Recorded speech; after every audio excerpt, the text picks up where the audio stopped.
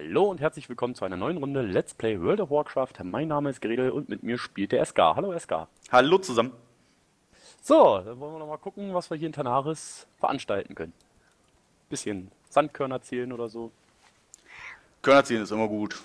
So, äh, reiten wir hier nach äh, links da zur St. Martha Wacht oder was? Jo. Dann Attacke. Wollen wir noch mal gucken.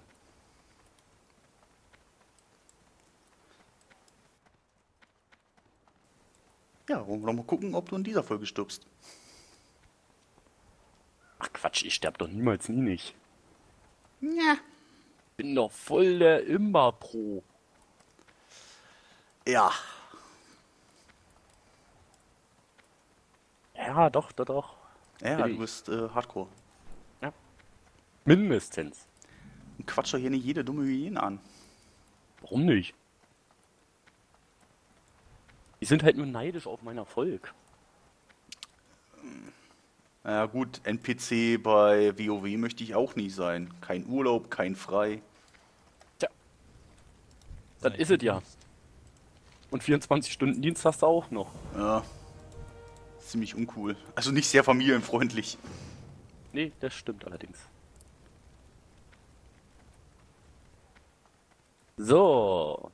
Ach, da steht er. Da. Dann gehen wir doch mal gucken. Wir reiten, wir gucken nicht. Ja, beim Reiten gucke ich aber. Na, Nachher, wenn ich sonst irgendwo ging oder überlaufe zufällig äh, eine alte Oma oder so, die hier gerade die Straße überquert. Ja, da hier äh, Verkehrszeichen sehr sparsam gesät sind, äh, muss man schon damit rechnen. Ja. Deshalb ja. Weißt doch, Augen auf im Straßenverkehr. Hier die DDs, die pullen schon wieder alles, das ist sagenhaft. Na klar.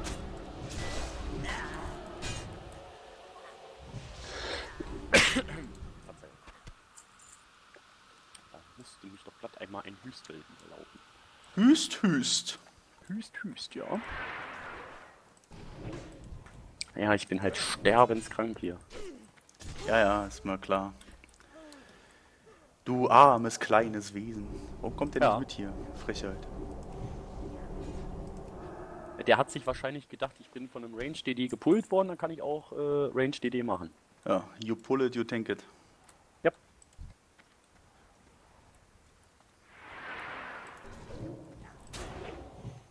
So sehe ich das auch.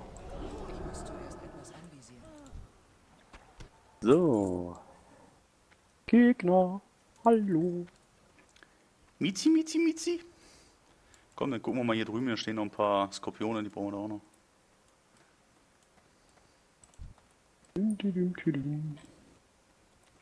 Dann nehmen wir doch wenigstens die mit, wenn der Rest schon nicht will. Ja, ja, ja. Das stimmt. Die sterben alle immer so schnell. Ja, ich bin halt immer pro. Ach, ich vergaß. Ja, wenn ich schon keine mördermäßigen Epics habe, dann äh, muss ich doch wenigstens selber mordsmäßig geil sein. Ja, ja, Und so. das bist du auch, ja. Du bist so immer, du bist. Äh, wie soll ich das beschreiben? Du bist so unglaublich. Danke, danke. Und vor allen Dingen noch so bescheiden dabei geblieben, ne? Das Ja, ja, ja. Das, das ist ist, so wichtiger. faszinierend, wie du auf dem Boden der Tatsachen bleibst und Ja. uns hier mit deiner Anwesenheit beglückst. Ja. Ich möchte ja, dass äh, andere Leute, vielleicht färbt es ja ab, wenn die dann so die, die Videos gucken oder sowas. Ähm, ich möchte ihnen dann natürlich auch den Erfolg gönnen. Das ist ja nicht so das Problem. Ja. Ich bin ja so dankbar, dass ich mit dir leveln darf. Glaube ich. Ist ja schnell umgefallen.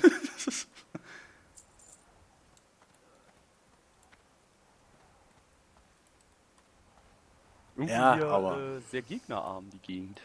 Ja, danach ist es da nicht so, so schön. Waren immer sehr weite Wege und teilweise auch sehr sparsam verteilte Gegner. Oh, warte mal, da vorne ist noch einer. Komm nur, Eska, der Tag ist kurz. Na, ich bin doch schon da.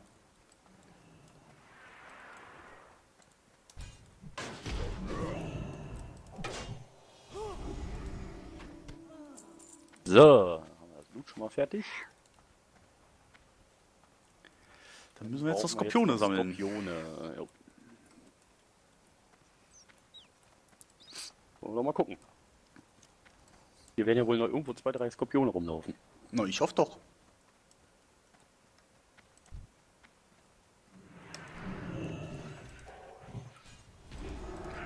So, und dem dies und das.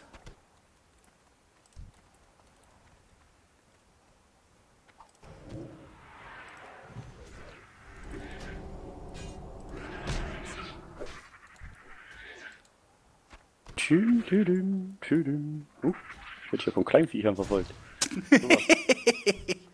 Ja, du bist so ein Pro, dass dich sogar Level 1 Viecher angreifen. Ja, jeder will halt versuchen, mich vom Thron zu stoßen. Ne? Das bringt der Erfolg halt mit sich. Das äh,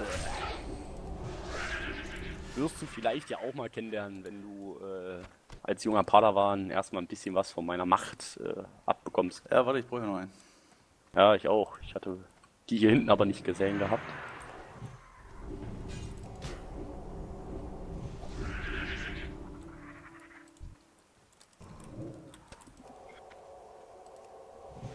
Bleib doch hier. Komm zurück. So. So, voll. Ich ebenso. Das ist doch gut. Dann gehen wir mal ab. Ah, juhu. Flieg, kleiner Feuervogel, flieg. Der kann nicht fliegen. Doch, das muss man ihm nur mal in Ruhe beibringen. Das ist so ein fettes Johopse da drauf, der kann ja nicht fliegen. Bin doch kein fettes Johopse. Naja, als zart und schlank würde ich dich nicht bezeichnen. Schön, dass ich helfen konnte. Ja gut, als plüschig würde ich mich jetzt mit der Rüstung auch nicht bezeichnen, aber ich bin halt einfach nur zu klein für mein Gewicht. Ja. Das ist alles.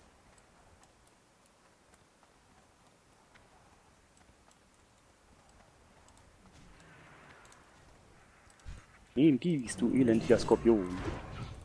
Und das auch noch. Oh, geh kaputt. Oh, stirb. Ist er doch schon. Alles hier unter Kontrolle.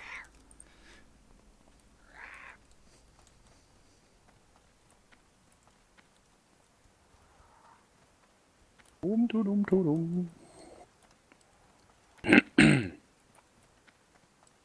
Ich glaube, ich kriege eine leichte Erkältung. Oh. Oh naja, ist halt so. Ist halt momentan auch das Problem, äh, morgens, wenn ich äh, losdüse zur Arbeit oder so, ist es ja noch relativ kühl und dann Nachmittag, wenn dann äh, Feierabend ist, ist mittlerweile ja. Ziemlich milde, ja, ja. Also die Ja. Nächte sind teilweise arschkalt und über den Tag da bist du am überlegen, ob du nicht die Sommerklamotten rausholst. Muss man nicht sagen. Gerade wenn dann windstill ist oder so, also dann fängst du ja richtig an zu schwitzen Hm. mittlerweile.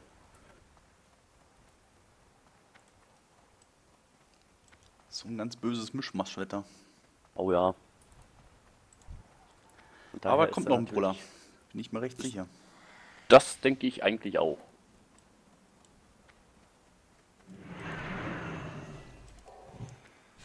Das war's noch nicht. Nee, ich sage, also ich denke auch, dass da nochmal was kommen wird.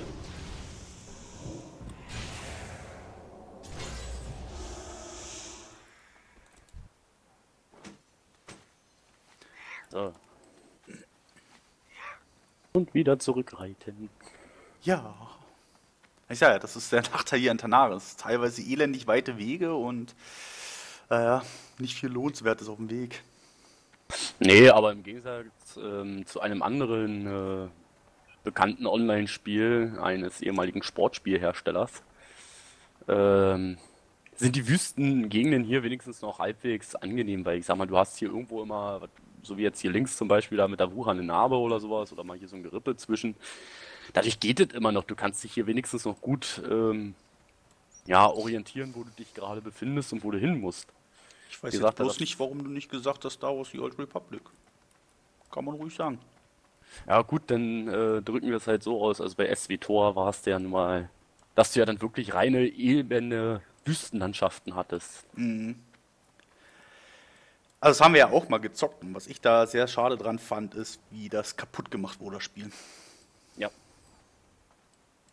Ja, da siehst du halt wieder, ne, Schuster bleibt bei deinen Leisten. Also man muss halt ganz klar sagen, ähm, Blizzard, äh, Quatsch, nicht Blizzard, äh, EA kann an sich Sportspiele herstellen. Können sie sogar sehr gut. Ja. Aber alles andere, weil man sieht es ja auch an Command Conquer oder sowas, alles andere sollten sie einfach nur die Finger von lassen. Besser ist das. Fand ich sehr schade. Also mir hat das an für sich hat das mir Spaß gemacht, das Spiel. Ja, das stimmt. Aber es waren ja auch ein paar sehr nette Ideen dazwischen.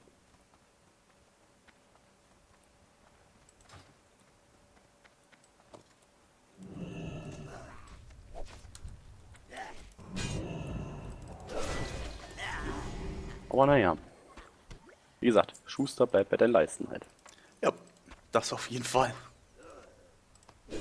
So, mach du mal den Gegner kaputt, ich sortiere mal meine Taschen. So. Das war klar. Ich muss hier schwer und hart arbeiten und äh, du machst Urlaub. Du bist doch hier der Imba Pro. Ich habe keinen Plan von dem Spiel.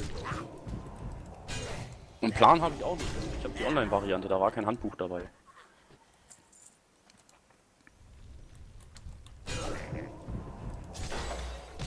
Ich musste mir halt alles selbst erarbeiten, weißt du? Mir Ja, ja, halt ich weiß, euch. Kriegern wird nichts geschenkt. Ja. Das ist es ja. Ich komme gar nicht dazu, meinen Schattenwort tot einzusetzen. Die fahren so schnell um hier, die Gegner. Ja, wenn du weißt, dass du langsam bist, musst du halt früher casten. Ja, wahrscheinlich.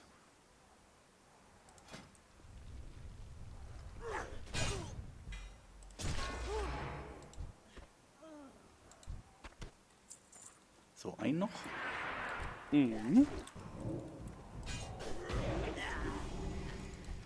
Das Schlimme ja daran wieder, ist, dass das ja sogar ein Spontanzauber ist und trotzdem komme ich nicht dazu, den einzusetzen. Die fallen hier so schnell um, die Gegner. Da haben wir es halt. Du bist halt mit dem Imba Pro dabei, weißt du? Das Ja, ja, ja. Da Das siehst merkt man. was- Das merkt man. Ja, da, Ja, man siehst du mal, was halt möglich ist, weißt du? Ja, ja, da hat man so keine Weil Chance, kommt normalerweise kaum ist das hier, hier so ein, so ein Levelgebiet, also du kennst das ja nicht. Deswegen erkläre ich dir das mal. Das ist hier eigentlich ein Levelgebiet. Hier musst du eigentlich im Durchschnitt mit einer 10er bis 25 Mann Gruppe durchlaufen, sonst hast du hier eigentlich keine Chancen. Ja. Wenn du dann natürlich so ein, so ein immer Pro bist, wie jetzt meine Wenigkeit, dann ist, ja, dann, dann geht es halt etwas besser. Ja. Ja, deswegen können wir das halt hier relativ gut zu zweit machen.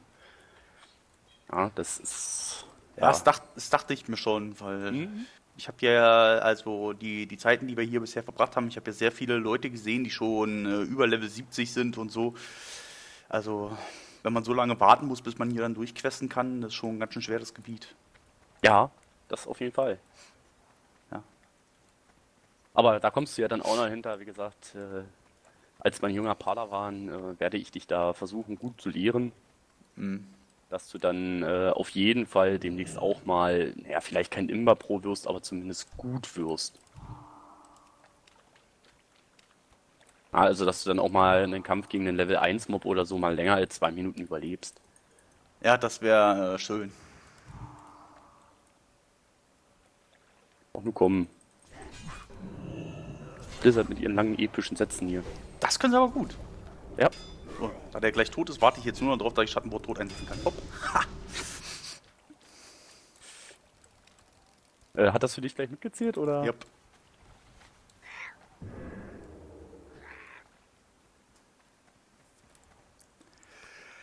So, Ah ja, so. jetzt hat er eine große Klappe und wenn wir dann wieder Rain gehen, dann schreit er wieder, oh Eska, Eska, ich hab Akku, bitte spott mir was ab, bitte, bitte, bitte. Ja, dafür bist du nun mal Tank.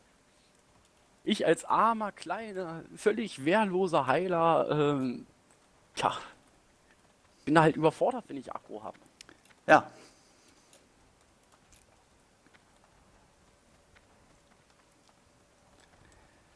Wenn das kleine Bäumchen wieder vordrängelt. Ich habe noch nie mich geehrt. Nee, du hast Glück, dass die DDs manchmal so gierig sind, dass sie das machen. Richtig. Und meistens da nur den Fehler, dass ich äh, ja diesen, diesen Fehler mache, einmal ähm, die Leute zu heilen oder so und dementsprechend dann die Akku kriege. Na gut, den Highland spotten wir das ja entsprechend ab, aber unsere DDs, die lassen wir beim Trash gerade sehr gerne sterben. Ja, gut. Das machen sie haben auch ja auch- regelmäßig mit. Ja, sie haben ja auch nicht äh, zu bullen. Nö.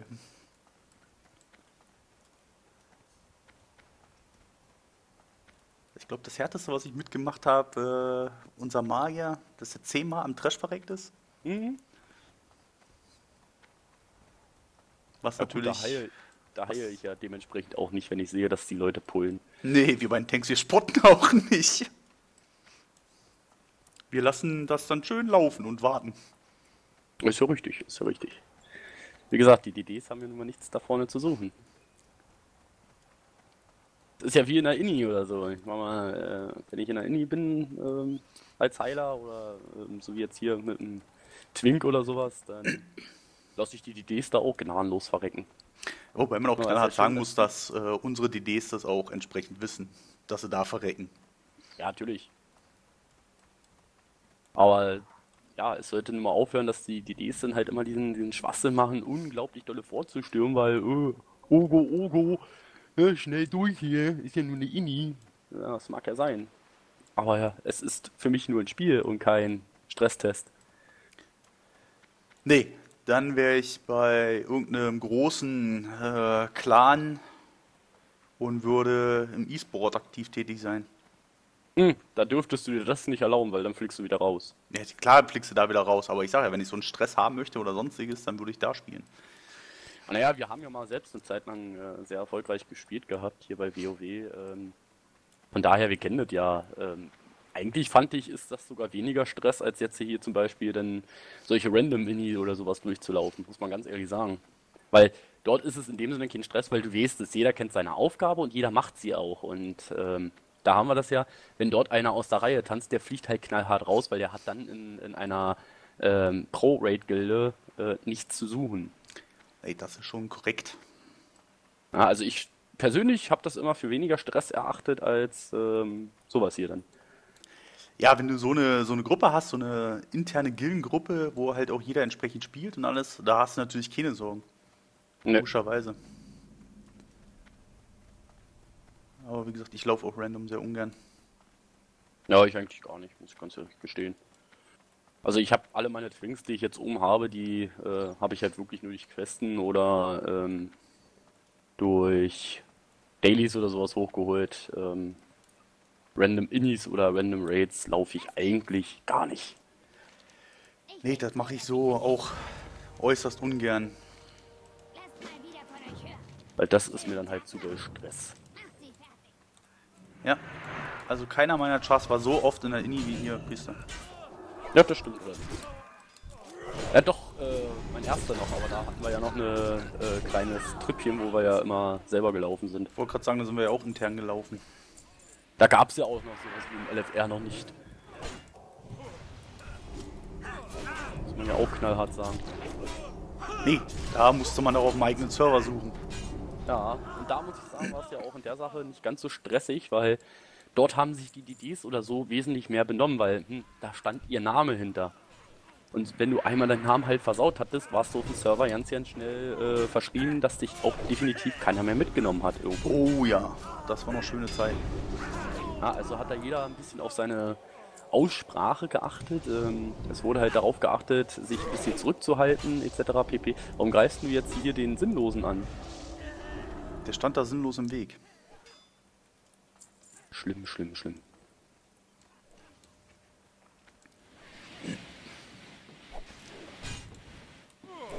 Oh, da draußen fackeln sie Bude ab und du gehst hier rein.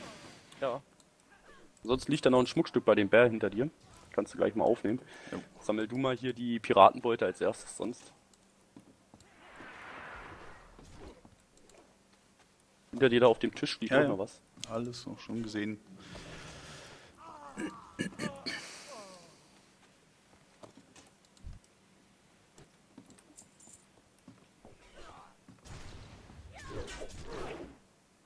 Auf dem Schrank und auf der äh, Bank da, genau.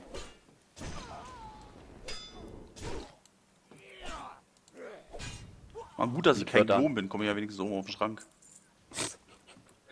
Ja, geht ja nur darum, dass wir uns jetzt hier nicht gegenseitig äh, das immer weglooten. Das macht ja auch keinen Sinn. Nee, ist ja richtig. Aber ich mal, ich wäre jetzt Gnom gewesen, wäre ich da oben nicht reingekommen. Ja, dann hätte ich dich schon hochgehoben. Aber das ist aber nett. Naja. Ich sag mal, als Gnome wiegst du ja nichts.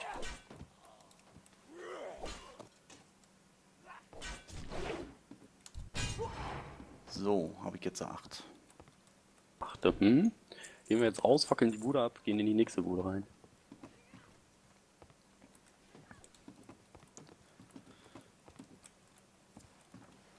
Morden, plündern, brandschatzen.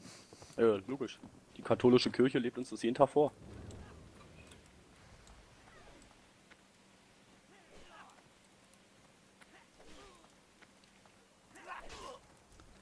Ja. Und den ihr Buch ist immer noch ein Erfolgsbestseller. Bestseller, ne? So, guck mal hier. Einmal gerade zu und einmal hier hinter uns dann im Türmchen. Dann hast du deine voll. Zehn. So.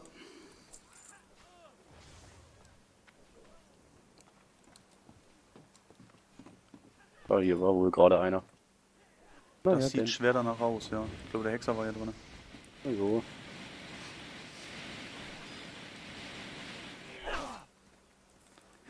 Gucken wir doch mal. Da hinten liegt doch schon was. Da liegt auch gleich was.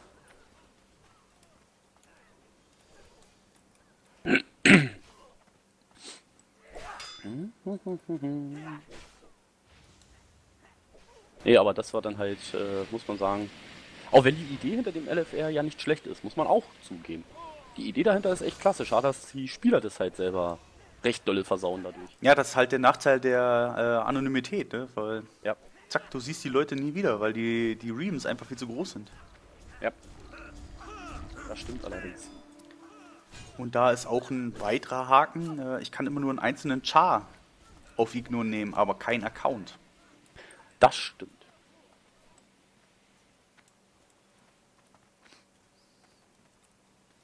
Das ist Hier da leider.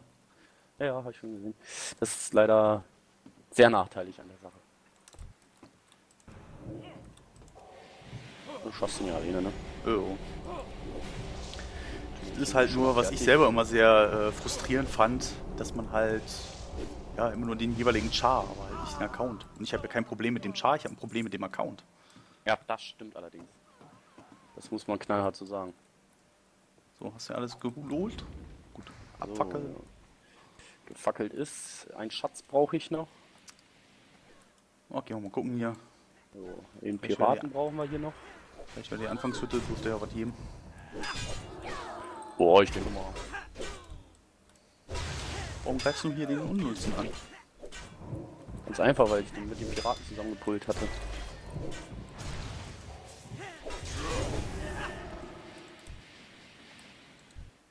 Deshalb musste ich den leider mit bekämpfen. Ja, siehst du? Und du fragst, warum ich das für ihn gemacht habe. Du hast den Einzelnen angegriffen. So. So, haben wir alle, ne? Jo. Können wir zurück. Weil hier geht's ja wieder. Hier sind ja äh, die Quests relativ dicht beieinander hier unten in der Schottbucht.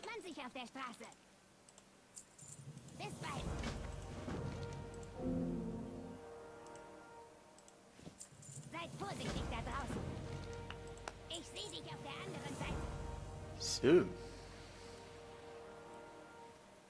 Wenn du So, sagst, willst du immer etwas ankündigen. Nö, Ich.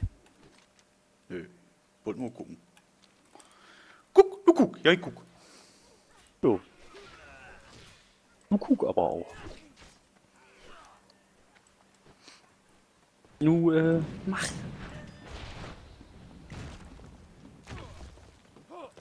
So.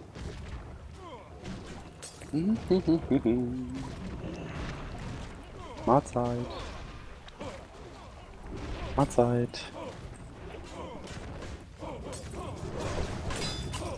Ah.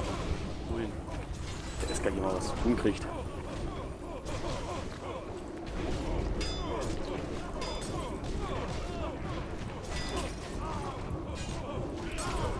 mehr damit zu tun, hier aus der komischen Pfütze jedes Mal rauszukommen. Als andere.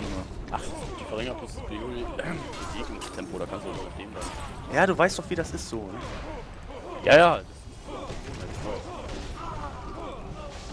Sieht anders aus wie der Fußboden, also muss man da weg. Das ist korrekt, ja. So, war das schon der. Ja. Zuchtmeister schon. Tüm, tüm, tüm. Hüpf. Das war äh, schlimm, ja, so mit Beginn von Pandaria, ne? als die ganzen Heilerkreise und der ganze Krempel da so extrem dolle gekommen sind. Damit hatte ich die erste Zeit auch Probleme. Ich bin auch mal rausgelaufen. Ja, da musste ich mich die erste Zeit auch arg dran gewöhnen. Ja, weil Die Heiler waren am Fluchen. Ja, aber vorher bist du es halt jahrelang gewöhnt gewesen. Alles klar, wenn sich der Fußboden farblich ändert, lauf weg. Ja. Gut, manche nehmen das. Oh, welcher Pull gemacht hier. Manche nehmen das nicht ganz so für voll, aber es ist dann schon lustig hier. Wobei Samus, ähm, der Effekt selber ist ja in Ordnung, aber er ist zum Teil auch ein bisschen schlecht gelaggt. Weil es stimmt schon, so eine, so eine Giftwolke zum Beispiel siehst du in dem Augenblick nicht. Gerade wenn ich jetzt als Druide da meinen, meinen Heilerkreis lege, der ist ja nun mal grün, ist so eine, so eine Giftwolke dann schwer zu erkennen. Wenn du Pech hast, ja. Aber ähnlich ist es ja beim, beim Shami auch, da mit seinem heilenden Regen. Klar gibt es ein paar Effekte, dass man das wirklich als Regentropfen äh, Tropfen sehen kann, etc. pp. Aber wenn dann Ja, halt irgendein anderer Flächending da ist, dann hast du halt ein Problem, ne? Ja, davon mal abgesehen, so wie ich selber, ähm, habe ja mit Absicht nicht ganz diese Effekte drin, weil es würde zwar der Rechner zwar schaffen, aber ähm, Ja, dann, ich ich will doch hab keinen Christbaum angucken. Ja, ich habe selber auch festgestellt, mir würde das nachher auf den Sack gehen, weil wenn du alle Effekte ein hast, das glitzert und, und leuchtet an allen Ecken und Kanten, dass Ja. du nachher schon fast epileptischen Anfall kriegst davon. Ja. Also das ist mir auch zu extrem, zu kunterbunt. Ja. Also habe ich alles drin, dass ich das halbwegs erkenne und das reicht mir, sag ich mal. Ja, reicht auch. Was brauchst du mehr? Jo.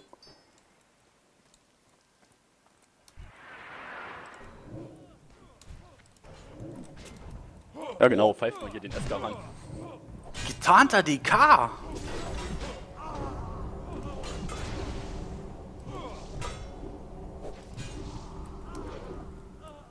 Ist ja wohl der Hammer. Frechheit, ne? Es könnte aber auch ein äh, getarnter Druide sein oder so, der sich hier von einem Priester das äh, Randpfeifen geholt hat. Den Glaubenssprung. Den Glaubenssprung, ja genau. Ich kam gerade nicht auf die Bezeichnung. Ja, also nicht, dass ich das selber auch machen würde als ähm, Druide und dann dementsprechend ähm, Schamanen oder ähnliches ärgern würde. Nee, du gibst es ja äh, nur dem Priester wegen der Gelassenheit. Ja, natürlich. Hat alles Sinn und Verstand bei mir. Alles Hand und Fuß.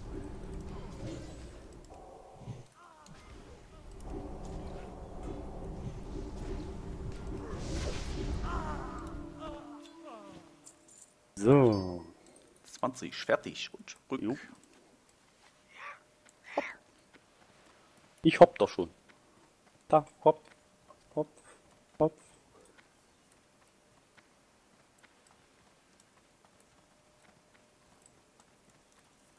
Schududududu.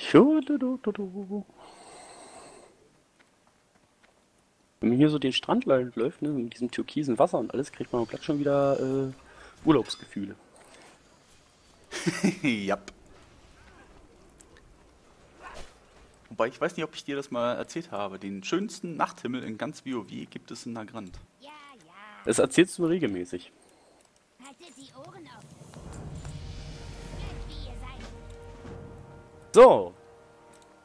Das soll's für diese Folge gewesen sein. Wir sagen Tschüss und Bye Bye. bis zum nächsten Mal. Tschüss.